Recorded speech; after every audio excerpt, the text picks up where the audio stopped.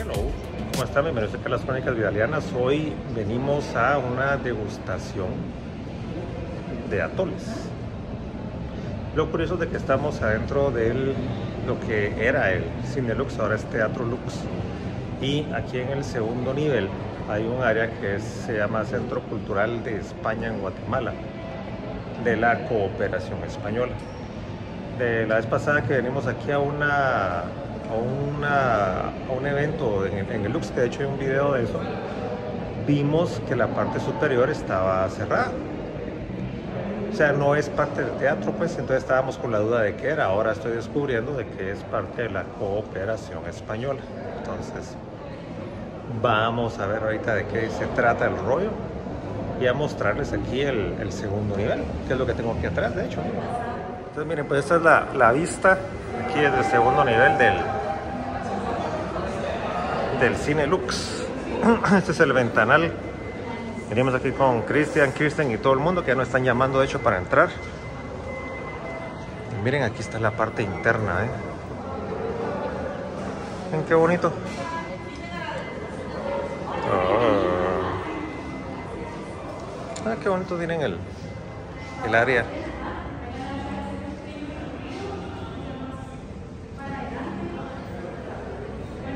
Está toda la mara, miren. Cultural algo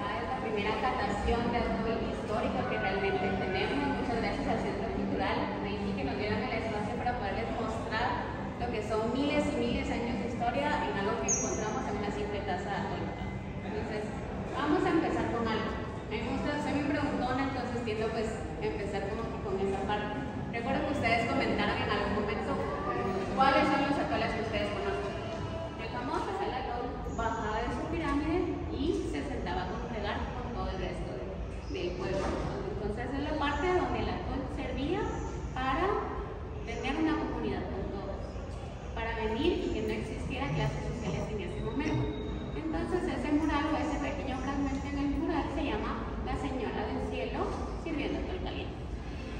Y eso es de hace más de 3.000 años. ¿Hace cuánto venimos tomando atol? ¿Dónde está ese mural?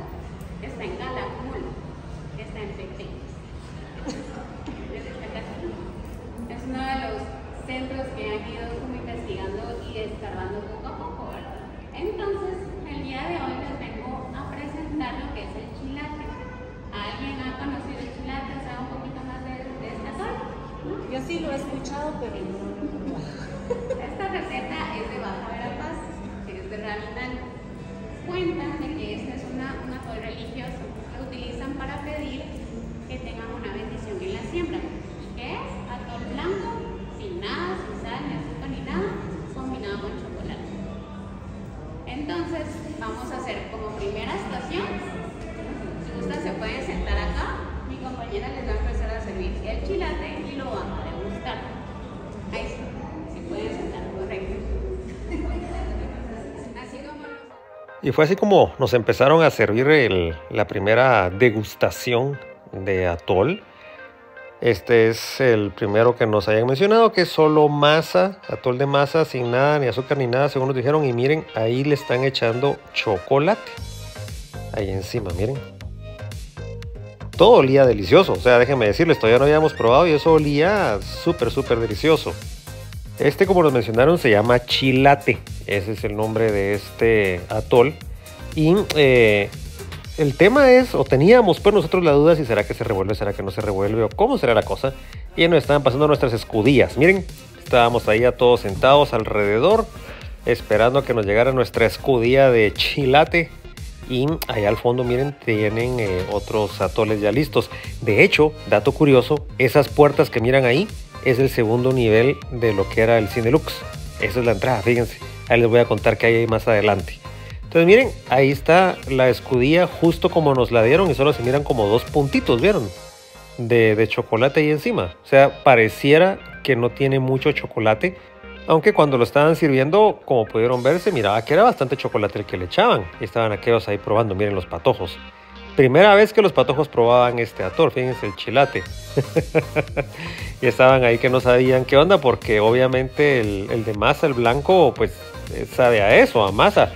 Ahí había que revolverlo definitivamente. Entonces fue donde ya empezamos a ver y a preguntar cómo era el tema de la revuelta o cómo era de que esto realmente eh, tenía que beberse. Momento muy bonito, fíjense, muy bonito toda la gente compartiendo, que no nos conocíamos con todos ahí, pero bien alegre estar ahí compartiendo con, con las personas que habían llegado a este evento, que por cierto no tuvo ningún costo. Hoy era solo de hacer la reserva del espacio y estuvo todo ese día acá en el, en el área del, del centro de cooperación española. Los patojos les gustó y miren ahí doña Carlita ya se puso a hacer el movimiento típico para revolver el chocolate con el eh, atol o el típico movimiento de atol. Y ya con ese movimiento, miren está doña Lilian entrándole duro, ya con ese movimiento, miren cómo queda, ahí ya va cambiando, ¿ve? entonces sí, hacía falta la movida. Ya con esa movida, entonces ya se empieza a eh, mezclar más los eh, sabores del chocolate y del atol de masa. Entonces ahí miren ya la siguiente prueba ya revuelto. A ver qué dicen los patojos. Sí, ¿eh? ya está, ya se siente un poco mejor. Después de eso nos dieron un poquito de agua pura y, unas cositas así que masticamos para limpiarnos un poco el paladar para pasar a la siguiente degustación. Miren, nos dieron estas cositas que ahorita se me olvida el nombre. Tal me comentan ahí qué es, porque a mí se me olvidó ahorita el nombre. Eso uno viene, se lo mete a la boca, lo mastica, así como está haciendo ahí doña Lilian. Y eso lo que hace es de que le limpia el paladar para estar preparado para la siguiente degustación.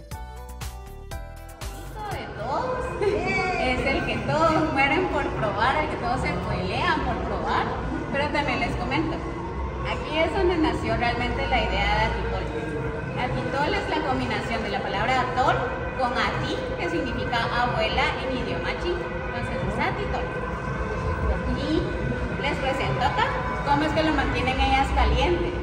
Porque ahí que cómo mantener un atol caliente por tantas horas. Entonces acá les presento una pequeña muestra.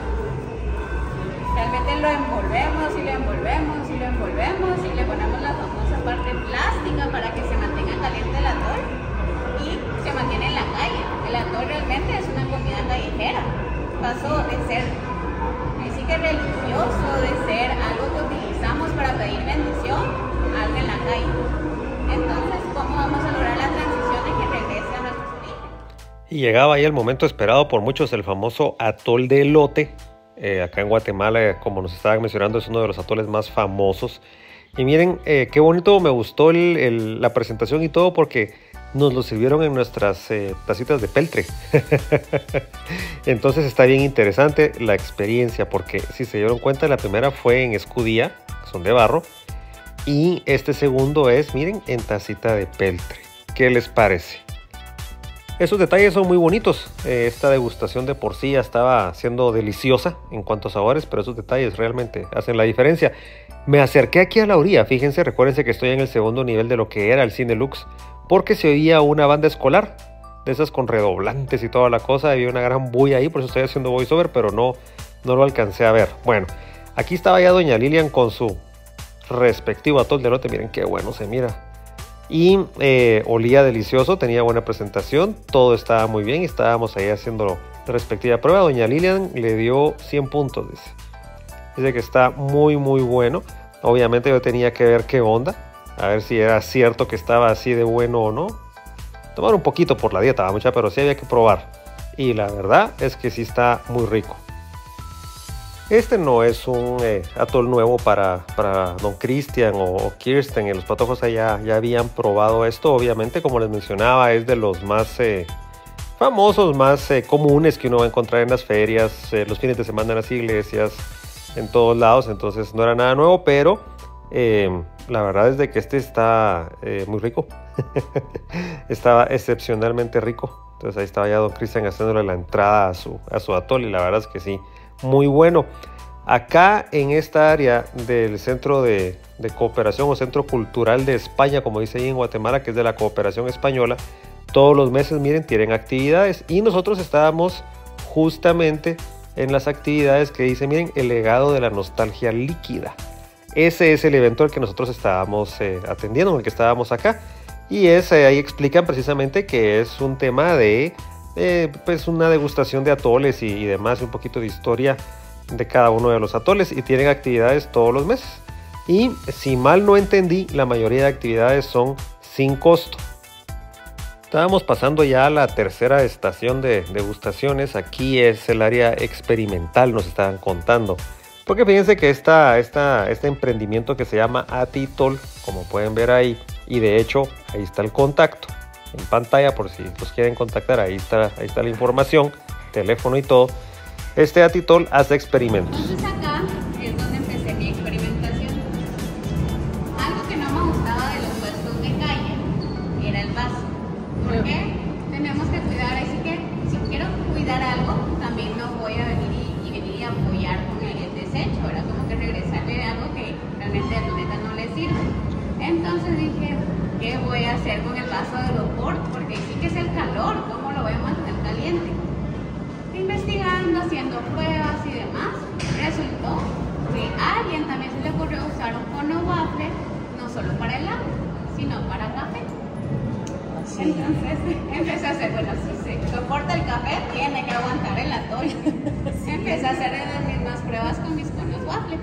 Y oh sorpresa, funcionó.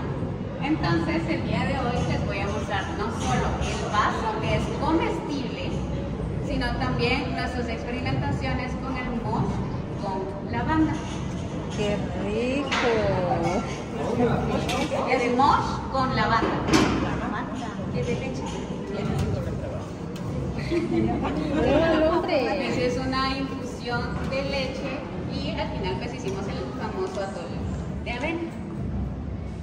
Mochito. Mochito. El famoso mochito. El famoso mochito. Entonces imagínense qué interesante estar tomando atol, en este caso un mosh con lavanda, pero miren en un cono waffle.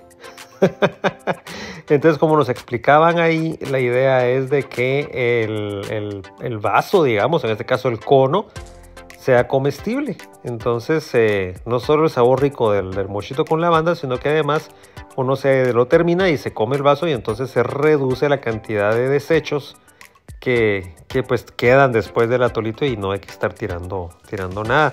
Dato curioso de que yo me recuerdo que cuando yo era pequeño e íbamos a tomar atoles, ya sea a las iglesias o a las ferias, los vasos eran de vidrio y tenían un su, un su baño ahí con, con agua y ahí medio lavaban todos los vasos de vidrio. Entonces ahí tampoco había desecho, ¿verdad? Pero bueno, eso era antes, después pasaron a vasos desechables por temas de que a veces uno iba ahí a tomar esos vasos de vidrio y terminaba con ronchas en la boca. Entonces eh, pasaron a vasos desechables y miren, ahora está esta propuesta de, del cono, de cono waffle. La verdad es que me pareció súper, súper interesante esta propuesta y la verdad es de que este emprendimiento muy interesante, Atitol, como, como les había mencionado es el nombre, muy bonita la actividad. Luego eh, nos pusieron ahí más sillas, miren, para que todos nos pudiéramos sentar a degustar ahí nuestro cono waffle con, con mosh y lavanda. Y estábamos ahí todos platicando, disfrutando el ambiente. Había una brisa muy rica. El edificio este del Cine Lux, súper ventilado, fíjense. Qué bonito el edificio, súper iluminado, ventilado. Si se dan cuenta, las ventanas son las antiguas. Pero miren, en la parte superior, no sé si se alcanza a ver ahí en el video, de del ventanal está la ventana baja. Y entonces ahí es donde entra una cantidad de aire eh, bien rico. Y vamos a aprovechar obviamente para conocer todo el edificio. De hecho preguntamos y nos dijeron, sí, sí, por favor, pasen. Hay exposiciones y hay más cosas, hay una librería y un montón de cosas. Y yo me quedé, en serio, hay librería y, y galería de arte y todo. Y me dijeron, sí, cosa que para mí fue totalmente inesperada. Entonces aprovechando las vistas de la sexta avenida, miren, de la zona 1, que es lo que estamos viendo acá, edificios de los antiguos de la ciudad, los edificios de hace muchísimos años que tienen de estar acá, dije, bueno, vamos a aprovechar, vamos a ir a dar una vueltecita a conocer cómo es que está ahora este edificio donde antes estaba el Cine Lux, que ahora es Teatro Lux, el primer nivel. En el segundo nivel eh, sigue, sigue siendo para presentaciones, solo que lo dividieron y ahora es como que un área privada de presentaciones. Y empezamos a subir, miren acá al tercer nivel, para ver cómo, cómo es que lo tenían, qué es lo que habían hecho acá. Yo no recuerdo que había en el tercer nivel hace muchos años, pero miren, al ingresar acá al tercer nivel del edificio este donde, donde antes era el Cine Lux, miren qué bonito lo dejaron. Miren esta biblioteca que pusieron acá, qué chilera. Según entendí también, eh, uno puede venir acá y no tiene costo. No pueden ir acá a leer algún libro, eh, hacer alguna investigación, lo que sea. Ahí están las mesas para que uno se siente y pase un rato tranquilo. Miren, hay área de niños, si, traen, si tienen niños para que estén ahí entretenidos. Qué bonito tienen el edificio, la verdad. Eh, de hecho, cuando estábamos buscando la dirección del evento decía edificio Lux. Y yo decía, pues, ¿cómo así edificio Lux? Mucha, ¿dónde está el cine Lux? Y me dijeron, sí. Y yo no sabía que esto era un edificio, pero bueno, ahora estoy viendo por qué es de que la dirección decía edificio Lux. Y miren, estamos otra vista de la sexta avenida de la zona 1. Recuérdense que la sexta avenida de la zona 1 ahora es peatonal. Pusieron sus árboles, es peatonal y toda la cosa. Y, es un lugar bonito, la verdad, para venir un fin de semana, así como estábamos nosotros acá, disfrutando de un buen momento. Y miren, ahí están aquellos echándole la leída a la prensa. No, pues. Justo como nos dijeron, hay una sala de exposiciones. Fíjense, había una exposición fotográfica eh, este día que venimos y eso es como que está ya en el último, en el último nivel, digamos, del, del edificio. Miren, ahí estamos en la azotea prácticamente. Y ahí estaba la, la exposición fotográfica, bastante interesante. Según nos explicaron, pues las exposiciones acá las están cambiando también de forma periódica. Entonces, eh, pues si algún día andan por acá y pasan aquí por el edificio de Lux, que se llama ahora, donde está el cine Lux, o era el cine Lux antes, perdón, pueden eh, consultar a ver si hay alguna exposición eh, para que ustedes puedan entrar a verla. También nos estaban contando eh, que esa misma noche iba a haber una presentación de danza, como a las 7 de la noche o algo así, si no mal recuerdo. Entonces, tienen bastantes actividades, muchas actividades culturales y demás. Y eh, yo estaba aquí aprovechando a conocer todo el edificio Lux, metiéndome por todos lados y viendo cómo lo tienen de, de bonito. Fíjense que, como les había dicho, yo he venido aquí ya un par de veces a un par de presentaciones en el Teatro Lux, que están en primer nivel, y nunca me imaginé que todo esto estuviera así acá arriba. Y tampoco nunca me imaginé o yo recordaba que este edificio fuera así de grande. Realmente es súper amplio, súper grande, varios niveles. Y miren, acá hay como que otra área de, libros, como que otra biblioteca, solo que acá no se podía pasar hoy. Ahí habían rótulos, miren que habían otras cosas, hay otra sala de, de, exposiciones aparentemente o, o, algo así, de gestión cultural, decía, pero eh, no se podía pasar, ahí había una cosa tapando. Estaba restringido el paso, pero miren qué grande el edificio, la verdad. Increíble, ¿va? Yo no, yo no lo había conocido. Cuéntenme, coméntenme si alguno de ustedes que, están viendo este video si conocía este edificio en su totalidad, porque yo la verdad no recordaba que fuera así de grande. En esta parte superior, miren, en la mera esquina del edificio, digamos, es donde está esta biblioteca hasta con segundo nivel. Imagínense la altura que tiene esto. Y miren qué bonito, toda el área de libros y eso, ¿no? como les comentaba, puede venir aquí a hacer sus investigaciones o leer algún libro, lo que fuera. Y tienen área, aparte de los escritorios que vieron al inicio, en la entrada, miren aquí para que uno también se pueda sentar y pueda pasar eh, pues un momento tranquilo leyendo, instruyéndose, investigando, qué sé yo. Y miren esa vista, la vista del centro histórico, del centro antiguo de la ciudad de Guatemala. No, hombre, muy bonito. La verdad es que bien interesante haber subido acá. La experiencia estuvo súper, súper bonita. Y pues ya, después de haber chuteado, como decimos aquí en Guatemala, el edificio, empezamos eh, ya pues a descender, a bajar. Eh, no, no sin antes detenerme acá. Miren, esta es otra parte de la, del segundo nivel, como pueden ver, miren. Ahí está la entrada, este es el segundo nivel del Cine Lux. Y esas puertas que vieron hace un momento era el ingreso al segundo nivel del cine, porque este era un cine bien grandote, de los antiguos inmensos.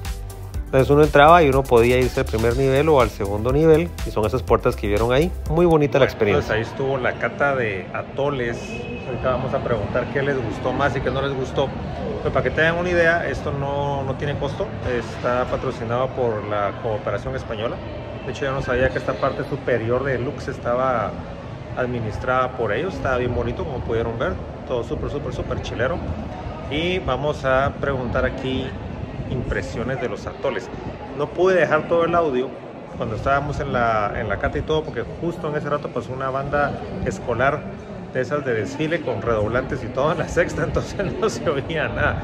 Pero vamos a preguntar a ver aquí cómo está la cosa. A ver, pues, ¿cuál te gustó más? El de elote. ¿El cuál? El de elote. El de elote, ¿te gustó más? El otro estaba- Aunque el, aunque el de, el de masa, el blanco con el chocolate, estaba muy, muy sabroso. Sí. De verdad. Eso no lo habías probado. No, así no. Yo probé el, el atol blanco que lo dan con chile y con no sé qué más, frijoles y todo, y no me gustó. Pero este con chocolate y cómo se hace así, como dijo Carla, para revolverlo bien, estaba muy rico. muy rico. Ok. Carlita. A mí el que me gustó fue el chilate. Chilate se llamaba Chilate. ese, Ah, sí, chilate. blanco un toquecito de, de chocolate, pero había que revolverlo para que agarrara sabor. ¿Y a ver, ustedes dos? El chilate también. También. A Cristian no. El chilate. No te gustó el chilate. O sea, a Cristian sí le gustó el chilate y a Cristian no. No sé, cabrón.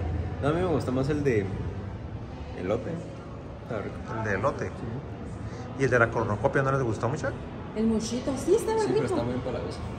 Ah, muy dulce. No, que Yo no va. lo probé, yo sí que va, estaba no. dulce por la cornucopia que tenía chocolate adentro. Sí, yo siento que se sintió dulce por la cornucopia. Sí, pero a mí yo me empalagué. Estaba rico, pues, pero me empalagué. Ok. Ahí está, para que vean. Yo no tomé muchos atoles porque no estoy con azúcares ni con carbohidratos. Entonces le di un par de traguitos al de elote y estaba rico. La verdad es que estaba muy bueno el de, el de elote, le di un par de traguitos. eh, los demás no puedo por el azúcar porque es muy temprano y yo no he desayunado. Entonces en estos horarios no puedo comer eso. Entonces, eh, pero sí, muy buena, muy buena la actividad, muy bonito lugar. Ahí vieron el contacto por si quieren ustedes eh, contactarlos. Dice que atienden pedidos especiales, hacen eventos y todo. Entonces, ahí está. Ya saben, si les gustó, por favor le dan like, lo comparten, se suscriben, le dan clic en la campanita. Miramos en el próximo.